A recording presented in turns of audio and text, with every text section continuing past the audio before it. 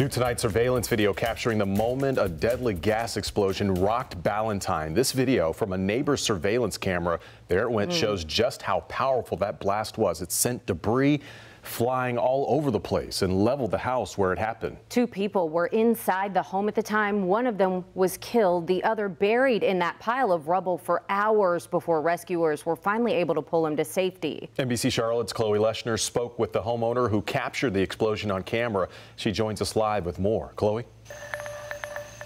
A lot of people in the neighborhood still coming to terms with what happened here on Tuesday. This surveillance video, a sobering reminder of how things can change in an instant.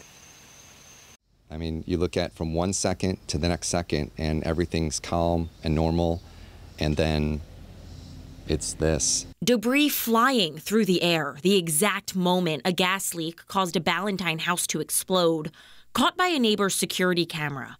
When the smoke clears, the first look at the destruction. That's what's so powerful is, you know, we can focus on that space of bad and get so caught up in that when, you know, there's still a lot of grieving, there's still a lot of pain and stuff that we have to still work through that suffering. But I think we can also take that as a, as a way to, honor Raina's life.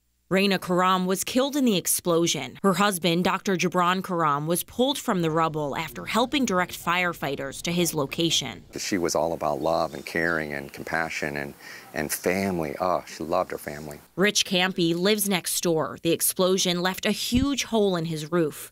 Now his house isn't safe to be in.